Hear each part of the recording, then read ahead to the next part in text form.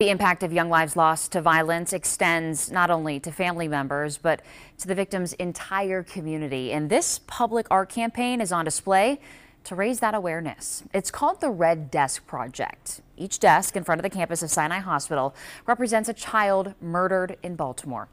LifeBridge Health is behind the project. They hope the display not only outrages the community over the large number of recent child homicides, but also draws attention to the need to protect children from becoming victims themselves or falling victim to the traumas that a child homicide inflicts on an entire community.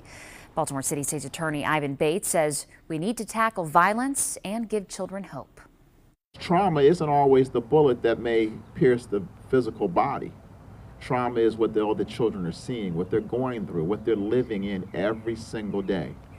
My hope and goal as state's attorney is to make sure that that we don't have them, these young children, eventually coming through the criminal justice system.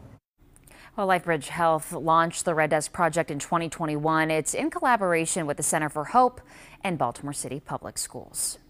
In the studio, Ashley Hinson, WBAL TV 11 News.